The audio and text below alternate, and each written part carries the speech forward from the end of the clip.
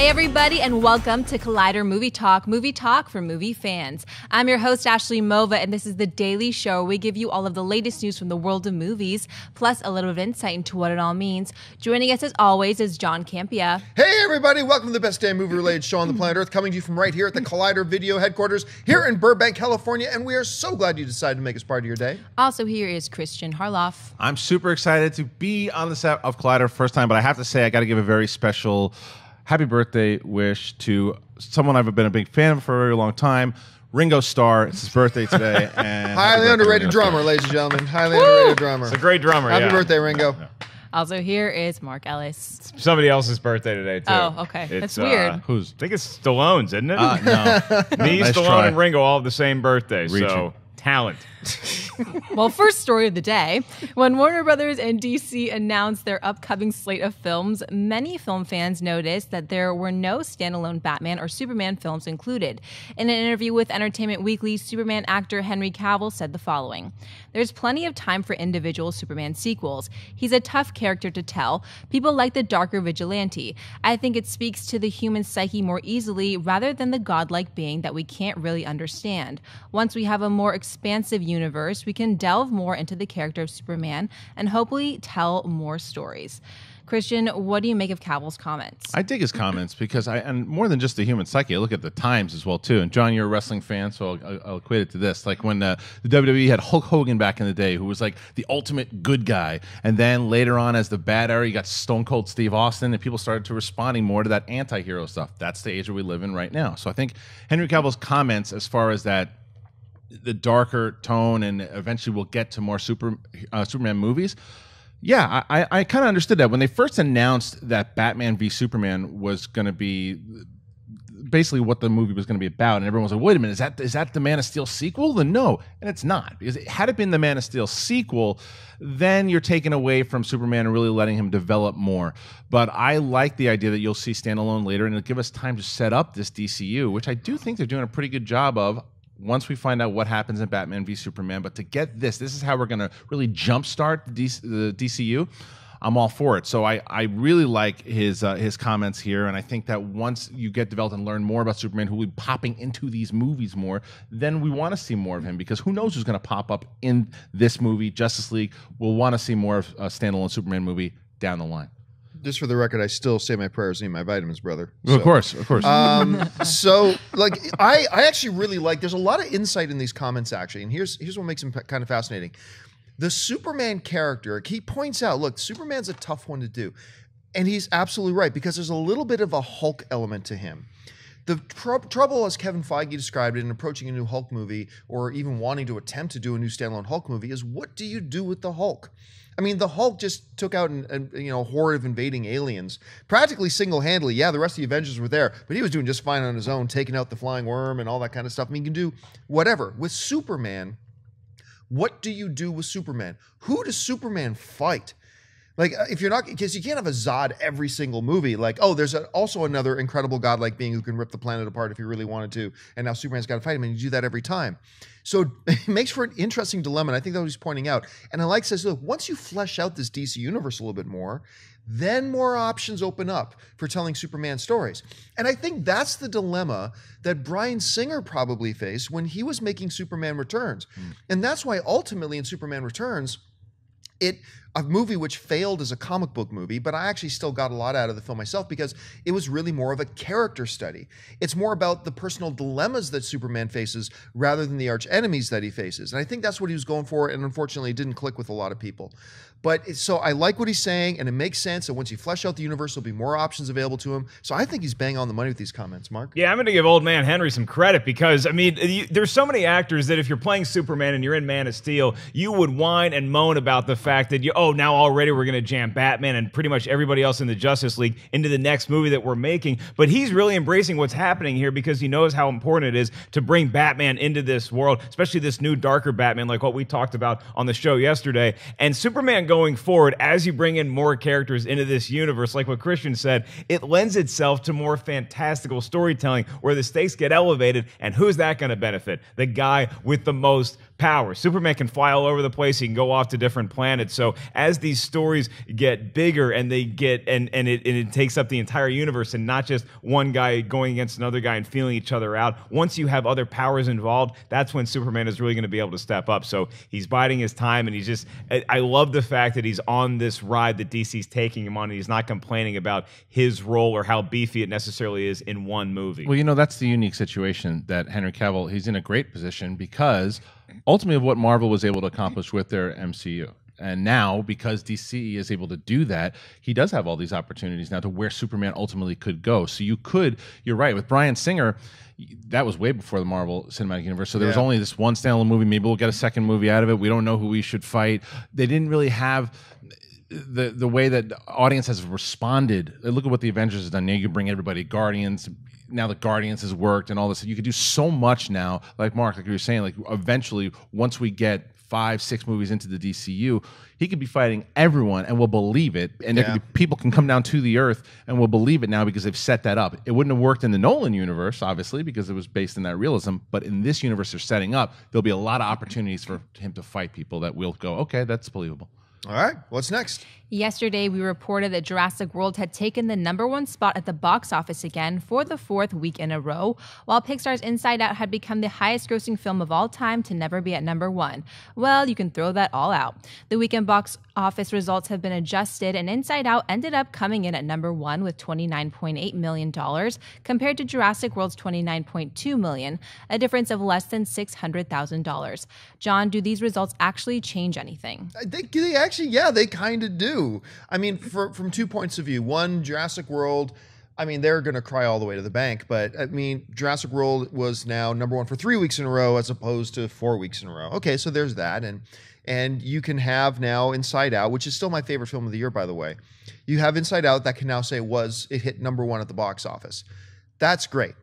However, to me, I was on the phone with a representative from Disney yesterday, and they were like, "Hey, and don't forget to mention his show tomorrow. You know, Inside Out actually is number one." I'm like, "Are you happy about that?" And should you be happy about that? Because remember, yesterday we were talking about how Inside Out broke a record that I honestly thought would stand forever, which was my Big Fat Greek Weddings record of the highest grossing box office of all time for a film that to never hit the number one spot at the box office. It's like $260 million domestic, some incredibly sick number. And I said, you know, it's it just it seems like that's a really cool thing you can put on your mantle. That's a pretty cool thing, other than ah, we managed to eke into number one in our second week with with like 20 something million dollars. Okay, that's nice and everything. It's like, yeah, lots of guys have three home run games. But how often does somebody hit for the cycle?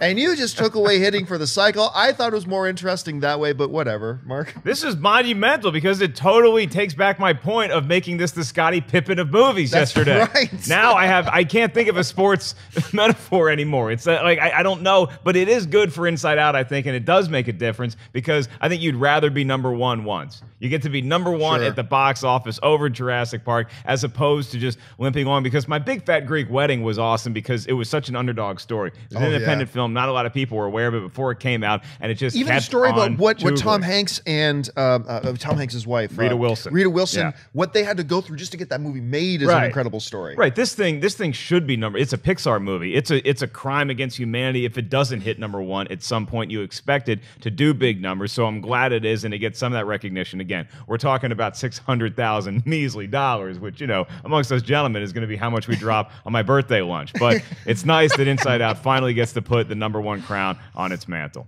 Yeah, this changes the commercials on TV. Is all it is. It's the guy hits the button, goes the number one movie in America. That's that's really that's the whole. Like, okay, you can release that commercial now. Um, but I actually agree with with John. Oh, it's number one, Morty. number we should one. go see it We, now. have been waiting. We've been waiting for weeks. this family does not see number two movies at the box office. Well, it's hit number one now, precious. Um, I think that uh, you're right, though, uh, John. I think it, it's a cool record to have because you know it, it's going to continue to be in the top five. It's going to be in there for a little bit. It's the only movie for kids to see right now, for families to see right now. And there was something kind of cool about we're now we're not number one, but we're the big, but we're still we're, we're still the, one of the biggest movies of all time, and we don't have to be number one, but. It's six hundred thousand bucks, and the one the one bragging right is if you want to say, yeah, well, guess who we beat? Jurassic World has been beating everything, a monster of a movie. You know, so uh, it's, there's in its fourth week. yeah, but but but I mean they're they're still in their third or whatever. Or Yeah, second. third or second, third or second. So that's just only one week one Yep. week apart. So to be able and a kids movie. It's, that, that's an accomplishment all itself. So it's it's like one of these. You can you can go negative or positive. Right, but there's also a kids movie that's coming out in uh, the next week that is going to be number one. The Gallows? So you- the, the gallows. okay, kids, enjoy. Actually, the Minions have a gallows like scene in that movie. But yeah, I mean, so Minions is definitely going to be number one, maybe for a couple weeks or at least until Ant Man comes out. So you want to have that. Hey, we were number one too. You weren't the only animated film to be number one this summer. You know, but but at least I can go back. Well, let me actually throw this as a question to you guys. I, for a long time, have always believed that my Big Fat Greek Wedding is a record in the box office books that would never fall. Mm. We've had a very weird, perfect storm of events with Jurassic World far exceeding expectations, with Inside Out coming out of the same. Will, do you think that that Big Fat Greek Wedding record will ever fall?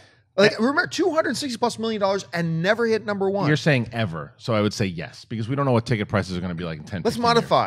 Modify five within the next five years. Until, but until the San Andreas quake hits.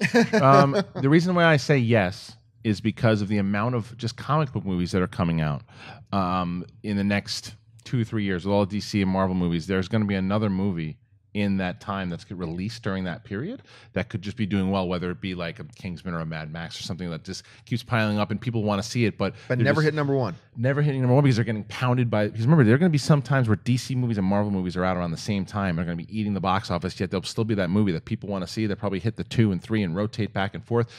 It's possible. I'm just saying within the fi- next five years, I say it might happen. And also, That's if there's a great real, point. if there's a family movie that comes out around Christmas, one of my favorite shows to watch is Jedi Council, and they keep talking about this it. Force. Awakens movie. so that thing's going to be a juggernaut. That could be number one for a while. If another fun movie comes out around Christmas that just keeps eking along, that could take the record. But I think, I think it'll be a while before you get to. I mean, 240 million dollars. That's a lot of money for never coming in number one.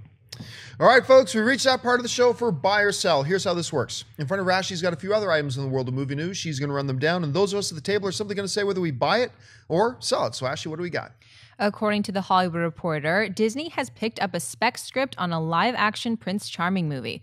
According to the trade, a Prince Charming film is still far from a sure thing, as Disney is currently working on two other live action adaptations in Alice Through the Looking Glass, due out in 2016, and Bill, Condon, Bill Condon's 2017 reimagining of Beauty and the Beast, starring Emma Watson and Dan Stevens.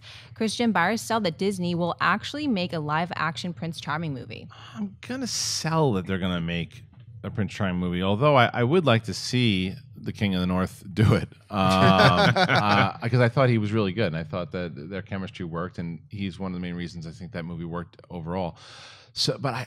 I don't know. I think with all the other movies that they could do, and now that we know that uh, Sofia Coppola is not doing The Little Mermaid for whoever she was doing it for, that maybe they could actually do The Little Mermaid, and then they're going to be working on um, Mulan, and there's a few other things that I think happened before they they hit, I know that Cinderella was a huge hit, so it might make sense to spin off. But I, I think focus on your other properties because I mean, what are they gonna? I, if they do, I hope it's more than him going. I don't. Well, my dad gave me in that brand new horse. and it's like, it's like what, what, are they, what are they gonna? do? What are they do with this That's guy? your, that's your opener as a Prince Charming one? That's it. That's it. My dad bought me a new horse. Wanna Oh, and I met some girl in the woods. It's like, what else does that guy do? He doesn't fight. Or at least we don't know he does. He can fence. Prince Charming can fence occasionally. Sounds And- exciting. Look, th- this is the thing. You always have. I'm, I'm sick of, of just like little girls getting to watch their heroes grow. How about a little boy out there who wants to see Prince Charming? You know, he wants to see some rich kid who's never had to You're work really a day selling in it. his life, ride, ride a You're- horse through you're- town. Just be a creep. Hey, put your foot in this glass slipper. Let me let me see. Oh yeah, that Right. fits It real turns out he's always wanted to do it. He just pretend. He finally, finally was able to bottle it up at the end. Yeah. But there, there- there's never been just I buy this because there's never been just a like Prince Charming standalone story that Disney's done. Prince Charming has popped in in various incarnations into Disney fairy tales. Disney can't keep relying on just okay. Now we're going to do the live action Little Mermaid. Now we're going to do the live action Mulan. Hey, do we have Why any other not? It's cartoons we working. can make live action? It is, but you should also try to do something new and original. You're right. Richard Madden should be the guy because he was great in Cinderella. We can get Richard Madden or anybody else who's pretty good looking. They're going to knock this role out of the park. It's the right move. Prince Charming and Aunt May. The best thing about the slipper is that I can always see your feet. Um, something wrong about that. Oh, look at your Um. I, I am. Uh, I'm actually going to side with you on this one. I, I think. Look, Prince Charming is a character that you're right has several incarnations. Has popped up across fairy tales now and again, and used used in many different ways. I think that means it, the doors would be open to do a lot of different types of stories with this character, and I think there's some pretty cool things you can do. With the incarnation that we saw in Cinderella. And I agree. I thought that was actually a really good incarnation. I thought the chemistry between the characters was great. He was very noble, yet frail at the same time. A, lot of cool things. But I just think that the possibilities that exist when you start the page with, we're going to do Maleficent, you're a little bit limited on what you can do. And when they took too many liberties, I think it, it kind of ruined the story mm-hmm. for me. But when, with the Prince Charming, you can almost do anything. You can create any new story you want within that fantastical world and make him be whatever you want him to be. So I think just the fact that it's got such great possibilities is why, for me, I'm going to buy it. All right, what's next? With the final Hunger Games film just a few months away, the Hunger Games Mockingjay Part 2 has released a new set of character posters featuring the war painted faces of the series' primary stars. Katniss goes off on a mission with the unit from District 13 as they risk their lives to stage an assassination attempt on President Snow, who has become increasingly obsessed with destroying her. The mortal traps, enemies, and moral choices that await Katniss will challenge her more than any arena she faced in the Hunger Games. Mark Byers these new character posters posters. Um, I buy them. I think it's neat that you get to see all the posters together, and you get to see all these different groups that are going to have to unite to rebel against this huge, uh, you know, overbearing dictatorship. So when you look at them individually, I think that they strike better than like those Ant Man ones that we talked about uh, previously. Oh, those initial ones, yeah. So if I saw one of those at the at the movie theater, it wouldn't pop to me. That's the way I always judge posters. Is if I'm walking out of a movie and I see a poster, is it really going to make me stop and say, "Oh, I want to see that"? So if I'm walking out of a flick and I see Jennifer Lawrence's face painted up like that, and I see that little tease, it's a nice tease poster, and it gets me intrigued as to what this movie's going to be. I'm gonna mm, buy the posters, but barely because individually, I, I yeah, whatever. It's Liam Hemsworth who can't act with some red paint on his face. Um, so I mean, or Liam, you know, Hemsworth who can't act with no paint on his face. It doesn't matter. But I, but when you put them together in one big collection like this. It actually looks pretty cool. I almost thought the first time I saw these that it was an ad for a video game. Hmm. I, I, I at first Right. I kind of did. Like a and I- fighting game. yeah, so it's not really recognizable, which is a little bit of a warrior. ding against it. But overall, I think when you put them all together like that, and then you know what it is, and you know the films, it actually looks a little bit badass to me. So by a little bit, I'm going to buy it.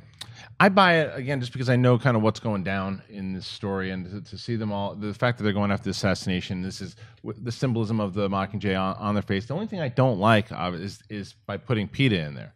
I think it's a spoiler. I really think it's a spoiler because of the way the last movie ended. Um, the same way they put For him the in- seven people out there who haven't read the book, But no, I'm but, one but of you those put it, people. No, but it's but it's but it's not though because even if you saw the last movie, the way the last movie ended, he's he's sitting there with with this unified paint on his face. And you're like, wait a minute, what's? I thought he was against uh, this, this whole thing. They even did it in the trailer too. So that's the only gripe. But that, as far as the imagery alone, I agree with both of you guys. I think it looks better them all together. Um, but it, it works. It, it's it serves the purpose of what the movie's about. I think the last Hunger Games movie was so good that all you have to do is just remind us that another one's coming out Yeah. to get us excited. it's funny. Not a lot of people love the last Hunger Games film. No, I'm true. actually, I'm I with you. actually quite liked it. I I got liked it a and, lot. and the ending, the way that it built up, I'm like, oh man, I want to see the next movie right now. It works. It works really. I think it's people are going to like the, the part one so much better after this one comes out because it's going to serve. It really is going to serve like the first part of a great overall movie because this is going to be all action. This thing, the first Oh, one is all set up, Yeah. and this is all action. And I think you got to watch them all together. I think more people appreciate the first one because I'm with you. I love the first one. Uh, Mockingjay Part One. part one. All right, what's next? As many of you know, an all new, all female Ghostbusters film is on the way. And according to a report from The Wrap, two new cast members have been added. Actors Andy Garcia, Ocean's 11, The Godfather Part 3, and Michael K. Williams, Boardwalk Empire, Inherent Vice, have joined the cast, which already includes Kristen Wiig, Kate McKinnon, Melissa McCarthy, Leslie Jones, and Chris Hemsworth. The film currently has a release date of July 22, 2016. Kristian saw the addition of Garcia and Williams to the new Ghostbusters. Oh, Omar coming. I love, I love Michael K. Williams, and and as far as Andy Garcia, sure. I mean, they're both strong actors. Why not put them in? I, I would assume Andy Garcia is probably going to play the mayor If I was to guess, Oh, that's good. right? I would assume he's going to play the mayor. I might could be wrong. Maybe they have Michael K. Williams play the mayor. I don't know, but I would assume. Uh, or maybe Michael K. Williams plays Leslie Jones' uh, uh, husband or something too. Has to. Who knows? I don't know. There's so much that he could do.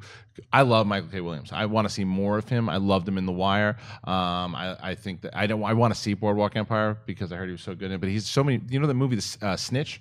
He was also in with, with Rock. There's so many movies that guy's in. So see, they're adding they're adding really good, and they both can do comedy, by the way. Both Andy Garcia and Michael K. Williams. So I'm on board with it. I'm a little bit torn because as much as I, I mean, I really do like Andy Garcia, especially if, he's- if he's in that kind of role like you're suggesting. That really works. I have, have have not, not been exposed enough to Williams doing comedy to really how to pay. I mean, I really like him in Boardwalk Empire.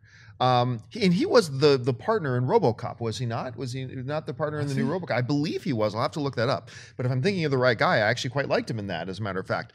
But I don't know. I just don't really kind of. I have a hard time picture him because of the exposure I've had to him so far. I can't really picture him in comedy per se. So I'm going to go right down the middle of this and slightly lean towards the cell barely. Yeah, it was RoboCop. You're right. It was RoboCop. All right. Well, I'm going to buy it because these dudes, while maybe they can do comedy, they're not primarily known for that. And I know Ghostbusters is a comedy. The original is one of the funniest movies ever made, but there's also other elements. There's a lot of action, there's a lot of horror. So I don't want everybody in this movie to be a well known comedian. You need hmm. something to ground the action. That's true. You need something to anchor it so that Leslie Jones and Kate McKinnon and Kristen Wiig and Melissa McCarthy have a place from which they can go off and have these crazy adventures and be funny. You need other people. You need straight men in this, so it looks like that's what these guys are going to play. I'm sure they could have some funny lines. I don't think either one of them's playing Louis Tully, but I think that they're going to be definitely good additions to this cast. Like Kristian said, they can act well. I think they're going to ground the action. If there's a Rick Moranis cameo in this movie, I will jump out of my seat. Ah, I I miss will that guy so absolutely much. jump out of my seat. All right, what's next? Speaking of actor Michael K. Williams, this is a good week for him. On top of being added to the new Ghostbusters film, the Boardwalk Empire star has also reportedly joined the upcoming video game adaptation of Assassin's Creed, joining Michael Fassbender and Marion Cotillard. John Byers saw the addition of Williams to Assassin's Creed. Yeah, you remember how I was a little bit iffy on him with Ghostbusters? Yeah, that's out the window. Bye. Absolutely bye. Because what I have seen him, and maybe he'll be awesome in comedy, I just don't know. I haven't been exposed to it yet. But what I have seen him in, whether you're talking The Wire, you're talking Boardwalk Empire, you're talking his role in Robocop, which I thought he was really great in. This type of a movie, putting him in, I almost get goosebumps thinking about it. What, thinking of him as some sort of in this league of assassins with like some sort of some sort of badass, whatever. I just get chills thinking about how awesome that would be on screen with his talent that he brings to it.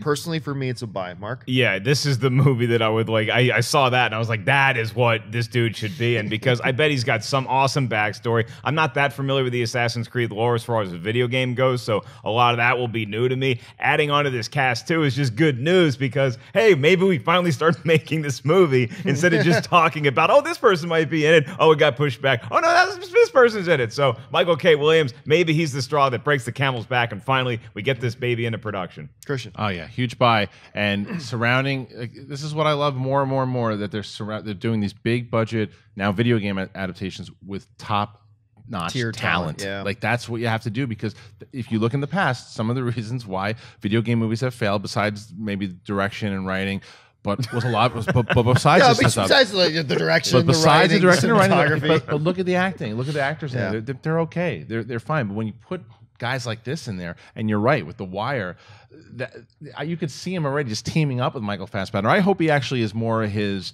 uh, confidant than his rival. I'll be okay either way, but I'd like to see them work together because he's done that well. And I actually thought he was actually the uh, stupid movie that recently that came out, The Gambler. He was the best part in that movie too. Right, right, yeah. All right, folks, we've reached that part of the show for Mailbag, brought to you today by our good friends at AMC Theaters. Listen, if you've got a topic or a question you'd like us to address on the show, you can email us anytime at collidervideo at gmail.com. Send on in your questions and maybe we can get yours on the show. So, Ashley, what's in the mailbag today? Gustavo Velez writes, Hey guys, I love that the whole group is back together, almost as if the Avengers broke off and got back together for another round. I bought tickets to New York Comic Con this October, and it's my first time going to a Comic Con outside of where I live. Are any of you planning on going to this year's NYC Comic Con? Thanks and good luck with the new set at Collider. Um, well, thank you very much. And I would be surprised if Schnepp doesn't go to New York Comic Con. I think he's planning on going. con. Yeah. Um, but I would also be really surprised if we end up going as a group, like if we end up taking Collider Video and, and going there. Uh, not in the budget, not, and it's, it's it's an expensive proposal to up like eight of us, get on planes, fly to New York City, get the hotels, and uh, so for that reason, I would love. To, people have been asking us for Yeah. years to go to New York Comic Con. But it's just an expensive endeavor, and I, I- don't think so. Do you think it'd be a good idea for us to go? I would love for us to go to New York Comic Con. Uh, One of the reasons because I get to go home. you know, Oh, that's I, right. I would see some some people there too. But also, yeah, it's one I didn't get to go, and it's the one you guys were talking about on yesterday's show how San Diego Comic Con's getting a bit Mm-hmm. overcrowded and it's it, th- this is i've heard nothing but positive things about new york comic con of the way that it has expanded and, and the way that they do i guess have regulated the space and stuff too. So i actually really want to go and i want to experience it because i've never been there before. So i would love if we are all able to go but you know fingers crossed I'd love for us all to go. I'd love for Kristian to go so he can show me where to get a good slice of pizza. I'll be there either Hey. way. I'm going to be at New York Comic Con at least for Thursday and Friday. I'm going to be doing stand up comedy at Gotham Comedy Club that week too, amongst other places I'll be popping in. I won't be there Saturday because my aunt's getting married in New Jersey, Nice. which we're all invited to. everybody all the Are they flying us out? Because maybe we, maybe then we can actually go to Comic Con. That would be amazing. Okay, then you heard it here first. All right, what's next? Desmond Bonner writes, Love the shows, Heroes, Mailbag, Jedi Council, and have been watching for almost two years now. My question is about the two boxing movies coming out, Southpaw and Creed. I feel like they are basically the same movie. A boxer has to overcome some obstacle and in the end win slash lose in a climactic fight. Do you think fighter movies are too predictable? Million Dollar Baby kind of broke the mold, and a film hasn't been as grand as that in a while for the genre. What do you think will happen to the genre moving forward? Well, here's the thing. If you break it down to just those elements, you're describing 90% of any movies because ultimately, any movie is about a character who has to overcome some obstacle, whether the opposition is presented by another human being, whether the opposition is, is provided by circumstance, whether the opposition is provided by environment, whether the opposition is provided by their own weaknesses or limitations. Every movie, or almost every movie, is about somebody faces an obstacle and has to overcome them at the end that's storytelling. It's not just limited to the boxing genre. Um, and to me, I gotta be, be honest with you. Like, unlike zombie movies, which while I get a kick out of them sometimes, I mean they all look the same to me personally. But Creed and Southpaw, despite the fact they're about boxers, I gotta be honest with you. The trailers to me make them look like two completely different movies, and I'm excited about both of them for different reasons. So I. Yeah, I mean, if you really want to boil it down to just those essential elements, you're pretty much talking about 75% of the films out there. I don't know, Kristian, how do you see it? I agree with you 100%. I think that uh, they look like radically different movies to me because first of all, Southpaw was kind of is based off like Eminem's life.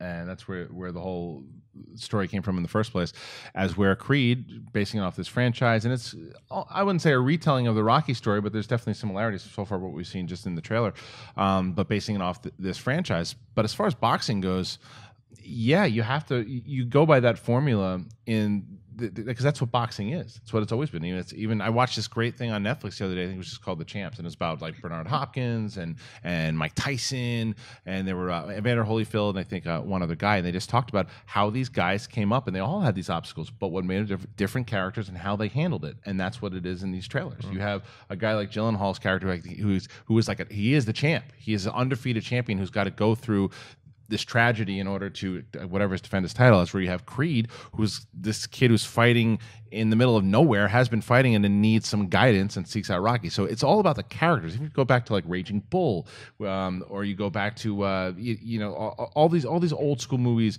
that were all about boxing it's about the characters and what the boxing does in general At least for the good ones are. the good ones, but even even the bad ones though. What boxing always does, even as a sport, it tests you as a person. Like anyone who talks about boxing, you see like it, it shows you what you're really made of, and that's what these movies do. You're seeing what this character is made of throughout the duration, whether it be an hour and a half, two hours, and that's what makes boxing movies so different is by the characters of the movie.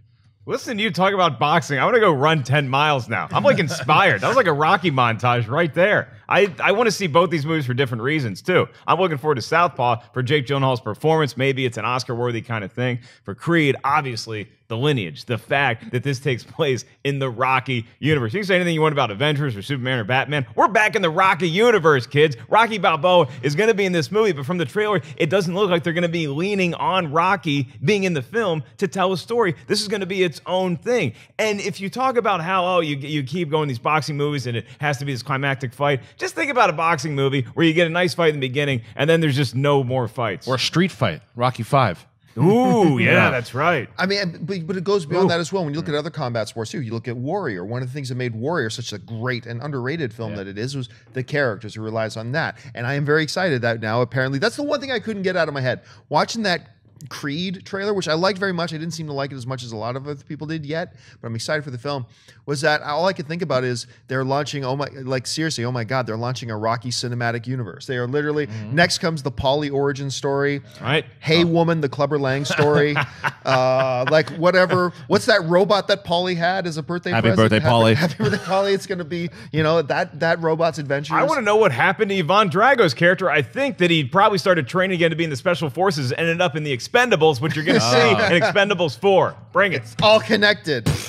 All right, folks, is that it? I That's think it. that's it. That'll do it for this installment of Collider Movie Talk. Thank you so much for joining us. Listen, don't forget, guys, if you're a movie fan, lots of great films playing at AMC theaters right now. Head on over to www.amctheaters.com for all of your theater, showtime, and movie ticket information. Make sure you subscribe to our YouTube channel here on Collider Video. Like Collider's uh, subscriptions on YouTube like tripled since yesterday morning. So thank you guys for supporting us and supporting show. Make sure you continue doing so. I want to thank first of all the guys sitting here at the table with me. First of all, sitting over here, Mr. Kristian Harloff. Kristian, where can people find you online? Well, you can find me on Twitter, both Kristian Harloff and Instagram, Kristian Harloff. But I have to say to you guys, I am blown away by the amount. It was funny because when we couldn't say anything yet, and I was getting all Yeah. these tweets about is Jedi Council coming back? What's happened with Jedi Council? And, and I was really kind of blown away by how much support Jedi Council has. So thank you very much for that. It's coming back, and it's back. We have a special episode today. Special one time today, but then we'll be back every Thursday.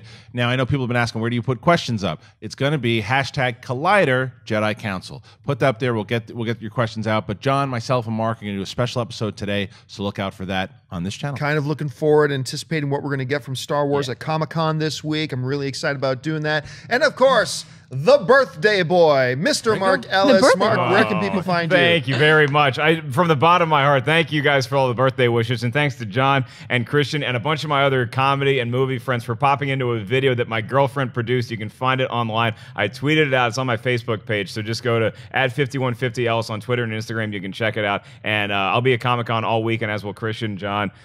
Maybe Ashley shows up. We'll see. Uh, we have the meet and greet that is when Friday. Friday at 6 p.m. to 7:30 p.m. in the uh, lobby right outside of the bar of the Omni Hotel, which is right across the street from the convention center. I heard bar. I'll be there. And of course, our lovely host today, fresh off making her first Match.com profile, Miss Ashley Mova. Ashley, where can people find you Look online? out, boys. Well done, Oh, Ashley. man. Breaking barriers. Yeah, you guys can find me and my new boyfriend on Twitter and on Instagram at Ashley Mova. Happy Tuesday, guys. You had to think about Tuesday for a second. I did. And of course, you can follow me on the various social media channels on Facebook and on Twitter, just at John Campea. Hey, listen, guys, don't forget, follow us on Twitter at Collider Video and follow us on Instagram as well at Collider Video. You'll find us there. So that'll do it for us, guys. Thanks so much for joining us. My name is John Campea, and until next time, bye bye.